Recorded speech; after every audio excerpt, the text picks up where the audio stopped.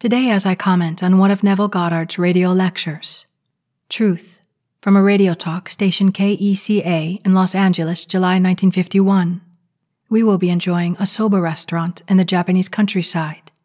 Soba is a buckwheat noodle that can be served cold or warm, and often served with a side of tempura. Neville says, We must learn to know ourselves as infinite love, as good rather than evil this is not something that we have to become. It is rather for us to recognize something that we are already. The original birthplace of imagination is in love. Love is its lifeblood. Insofar as imagination retains its own life's blood, its visions are images of truth. Then it mirrors the living identity of the thing it beholds.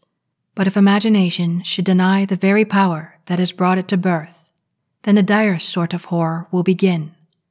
Instead of rendering back living images of the truth, imagination will fly to love's opposite.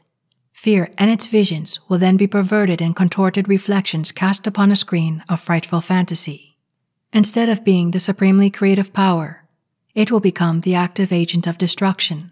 Wherever man's attitude to life is truly imaginative, there man and God are merged in creative unity. Remember that love is always creative, causative in every sphere from the highest to the very lowest.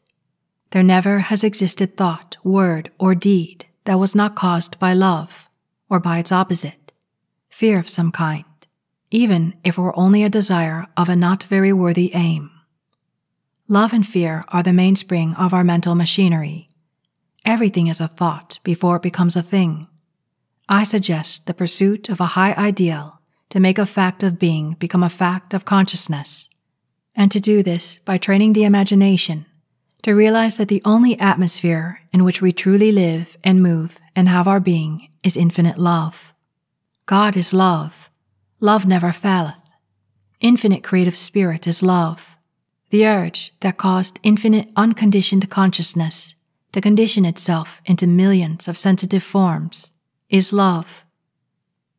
What Neville is simply saying here is we are love. And when we start to experience the horrors in the world, it is because we have moved from our true nature into that, the opposite, fear.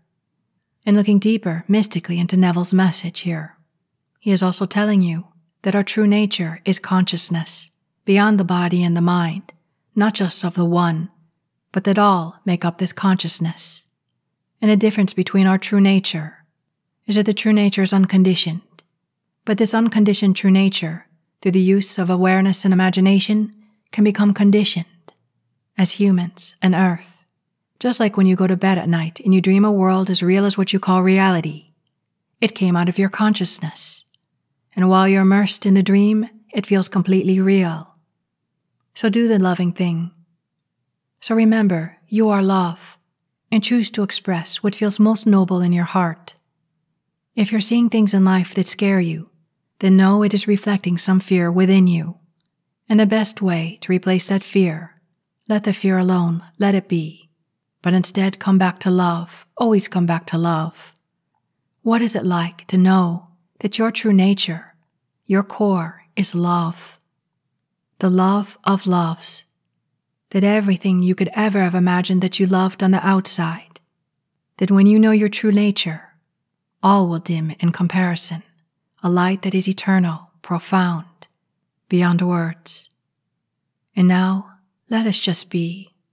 Let us just tune in to the love that we are, our true nature. And now let us go into the silence.